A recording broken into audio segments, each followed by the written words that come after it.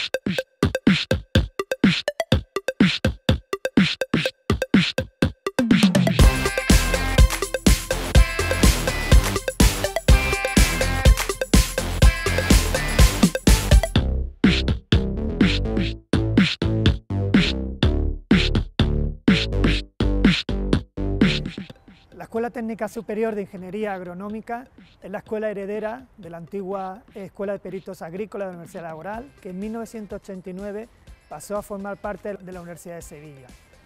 Desde la incorporación como centro propio, el centro ha experimentado un crecimiento tanto cuantitativo como cualitativo, hasta alcanzar aproximadamente unos 1.000 alumnos en la actualidad, unos 100 profesores y 40 personas del personal de administración y servicios. El centro está situado a las afueras de Sevilla, dadas las peculiaridades de nuestras titulaciones. Estamos en enfrente de la zona de Montequinto, junto a la Universidad Palo de Olavide, pero a pesar de ello estamos bien comunicados tanto por metro como por autobuses y tenemos grandes zonas de aparcamientos. Desde la implantación del Espacio Europeo de Educación Superior, en el centro se imparte el grado en Ingeniería Agrícola, un título de cuatro años, 240 créditos, con dos itinerarios de especialización, explotaciones agropecuarias e hortofruticultura y jardinería.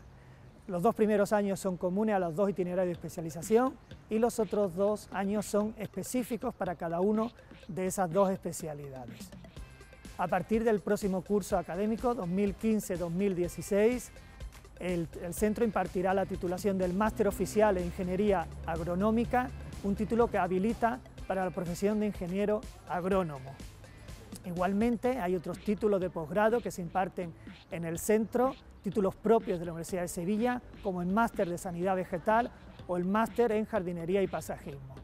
También hay otros cursos de formación para titulados, para egresados, como es un curso de gestión y técnicas en crianza de caballos deportivos o aplicaciones informáticas de control y gestión de recursos hídricos, de control y calidad de industrias agroalimentarias, etc.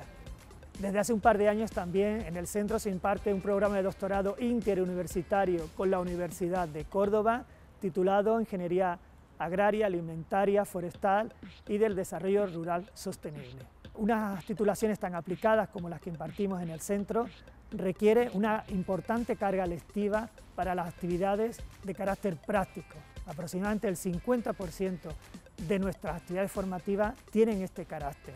Para ello contamos un campo de práctica en nuestro centro dividido en distintas zonas, una zona dedicada a invernaderos y cultivos hortícolas, otra zona dedicada al cultivo herbáceos y también otra zona dedicada a campos frutales. También el centro dispone de una nave ganadera para el cultivo de pequeños animales, eh, perdices, gallinas, pollos. Igualmente tenemos una nave de maquinaria donde el alumno puede utilizar y ver y manejar las principales máquinas agrícolas utilizadas para las distintas operaciones de cultivo. Otro de los aspectos importantes de nuestro centro son la investigación. Tenemos importantes grupos de investigación de primer orden dentro del ámbito agrario. Todo aquel alumno que esté interesado en temas de investigación puede unirse como alumno interno a un departamento o puede realizar su trabajo fin de carrera en temas de investigación. Otro de los aspectos que fomentamos mucho desde la dirección del centro es la realización de prácticas externas en empresas relacionadas con el sector agrario y de la jardinería. Entendemos que es primordial fomentar entre nuestros alumnos eh, la realización de estas prácticas porque es el primer contacto para poder conocer de primera mano la realidad del mundo profesional. El graduado de Ingeniería Agrícola puede ejercer la profesión de ingeniero técnico agrícola y el egresado en el máster de Ingeniería Agronómica podrá ejercer la profesión de ingeniero agrónomo.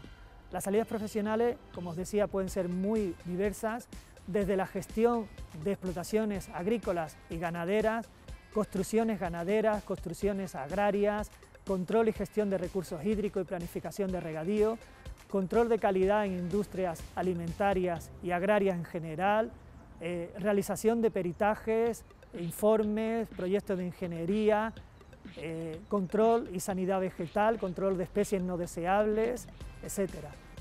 Los alumnos me preguntan qué va a pasar en el futuro.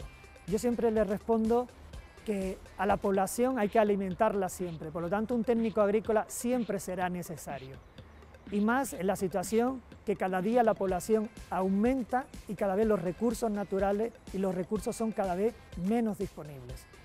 La agricultura evoluciona, igual que evoluciona la sociedad, y por lo tanto aparecen nuevas demandas para la agricultura en el siglo XXI.